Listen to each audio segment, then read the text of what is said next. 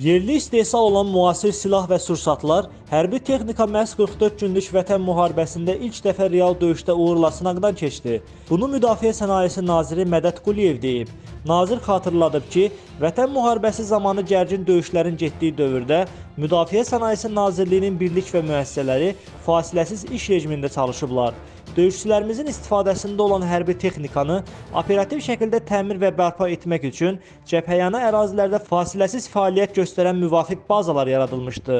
İşğalçılar Azərbaycan torpaqlarından qovularkən prezidentin obrazlı şəkildə işlətdiyi məşhur ifadəni ölkəmizdə əks-səda doğurduğu vaxtda seriyalı istehsalına başladığımız qanadları üzərində iti qovan yazılmış pilotsuz uçuş aparatları artıq ordumuzun istifadəsindədir.